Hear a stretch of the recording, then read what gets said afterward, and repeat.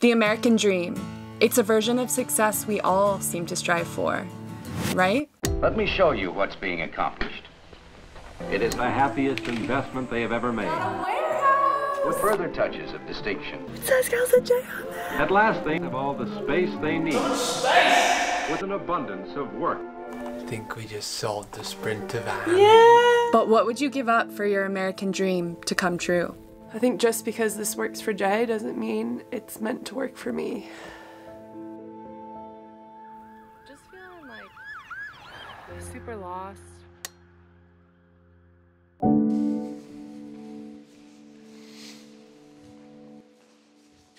So we're sitting here in an empty warehouse. Full circle. We came to it empty and now we're leaving it empty. I know a lot of you guys probably have questions because you saw not only the struggles, but like the success that we've recently had.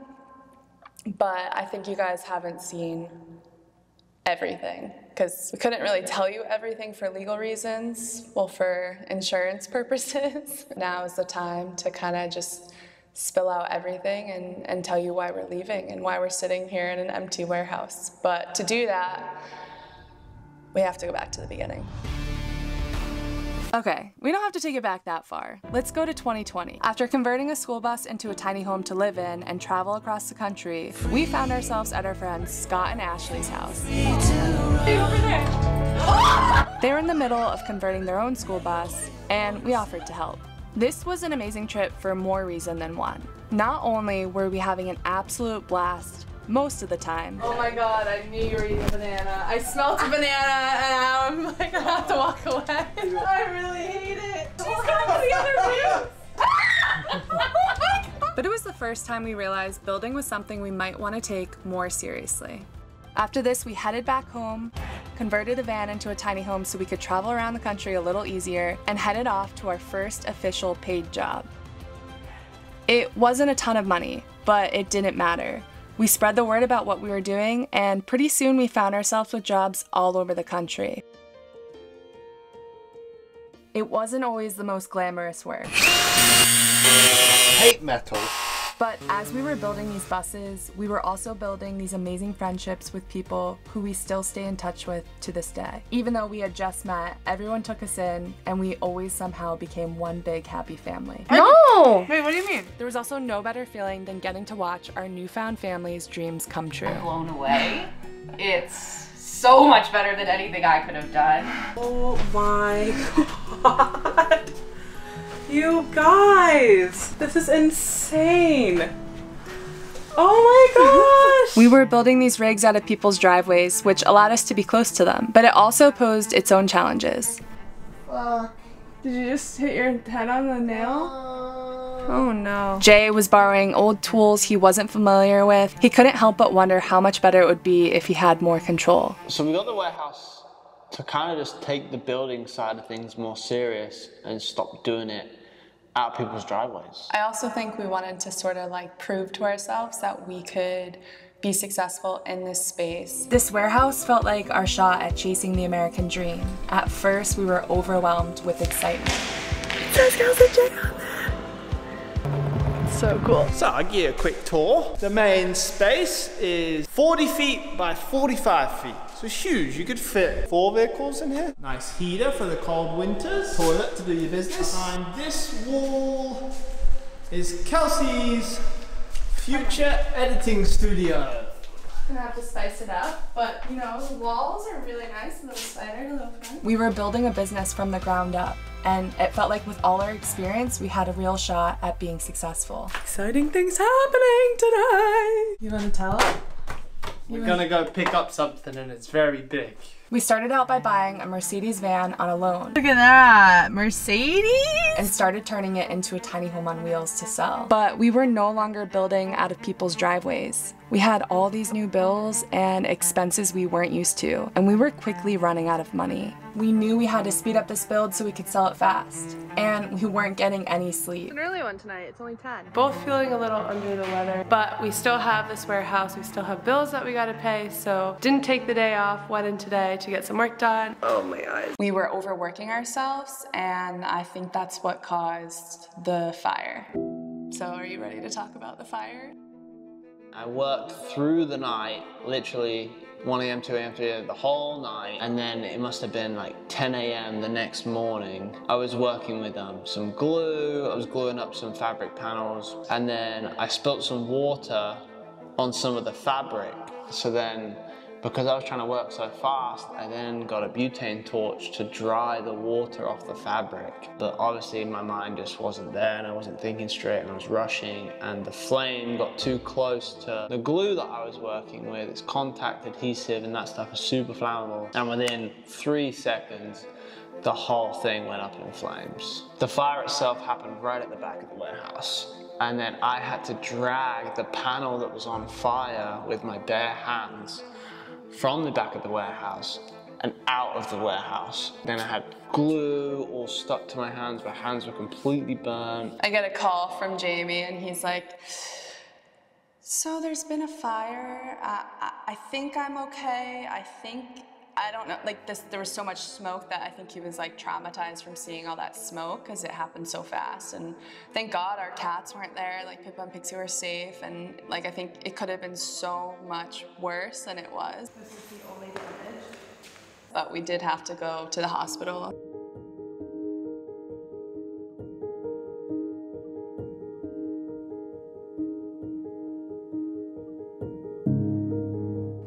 You still have scar, you have battle scars. Yeah, I had, some, I had some scars on my hands. You can kind of see them.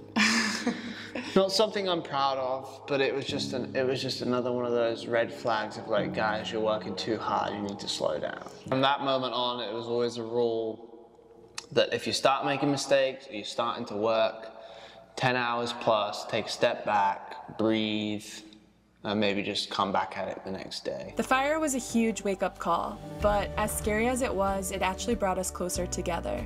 It made us realize we needed to come together and work smarter, not longer.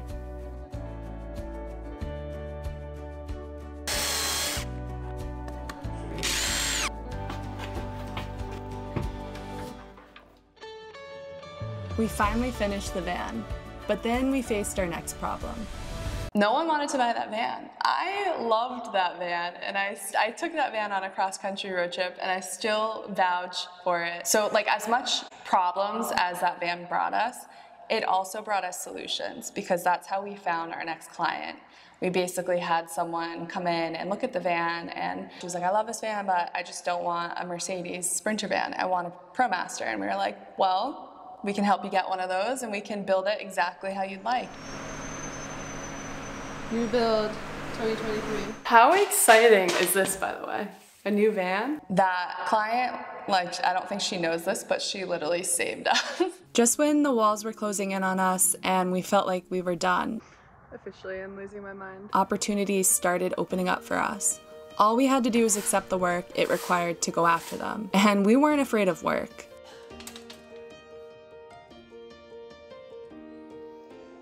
Pretty soon, we were completely booked with builds. Michelle's build came, which was a fun surfer vibe.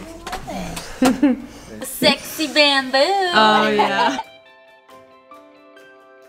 then Daniel's weekend getaway modular build.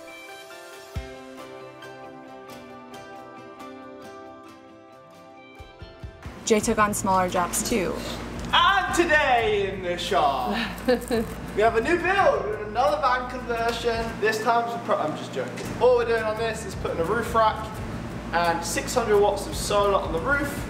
Also, this 13 foot awning. We were so busy that we had almost forgotten about the van we built to sell. It had taken four months, but the time had finally come. What just happened, Jay? I think we just sold the Sprinter van. Yay! Let's get the champagne out! It's 9.30 a.m. I don't really think we made a dollar on it. Jay, you like to think we made like a thousand just to make yourself feel better. Yeah, I, I, I, yeah, I think we broke even on that build, which hurts, hurts so much. But selling it freed up our finances and finally allowed us to work on our own build. On to the next one. Yep. Which is ours. restoring a 1971 Airstream.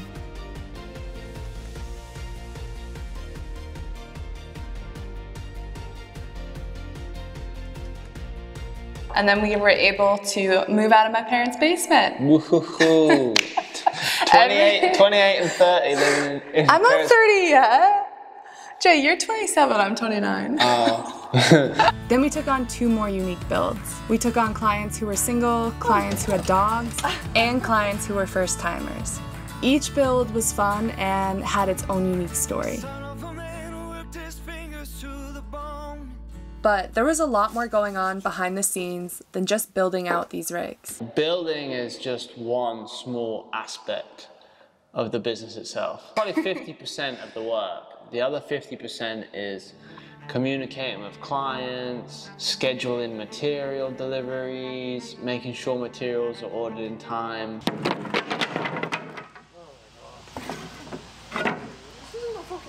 It was a lot, but it still felt manageable because this is what we wanted. Oh, watch your balls. We were finally making a profit. Our inbox was full with build requests, and from the outside, it looked like we were growing into a really successful, profitable business. It looked like our American dream was finally coming true. But for some reason, all I could feel was a heaviness I had never felt before. It was a feeling I couldn't shake. For me personally, I guess I didn't really like feel as fulfilled as I thought I might. And then I realized that maybe it's because like just because we're Kels and Jay, like our YouTube channel, our identity, like everything doesn't mean that like all your passions have to be my passions as well. It's nice to see Jay like every day. He's truly found what he loves to do, to build. I'm ex- extremely happy for him. I just don't know what that is for me. I thought going on a cross country road trip by myself would help me figure out what that thing was. I'd figure out why I was so unhappy. This is crazy. This trip was planned two days ago, and it's probably the most spontaneous thing I've ever done. And while I didn't get the answers I was looking for on that trip, I definitely found some answers when I got back to the warehouse.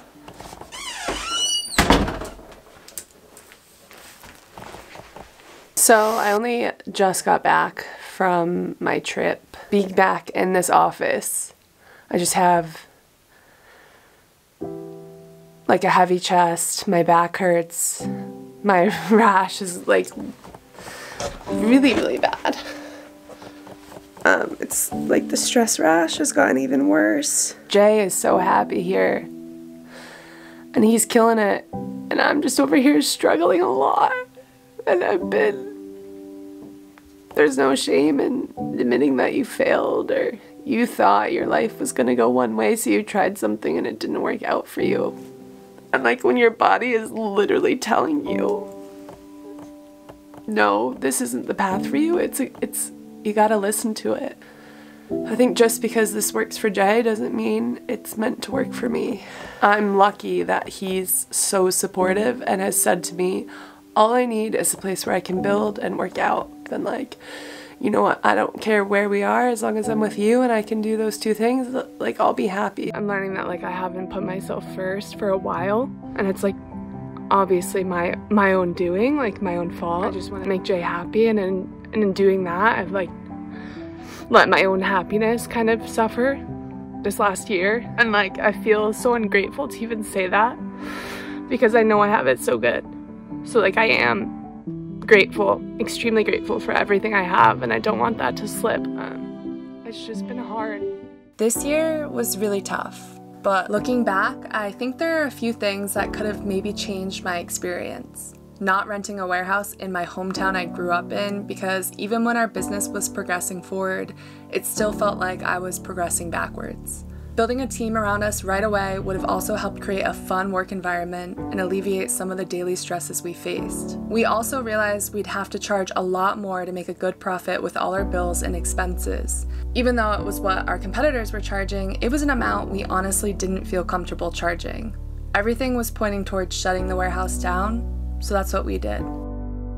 I think we've learned a lot of lessons along the way. Do you have any regrets? Spending this much money on rent.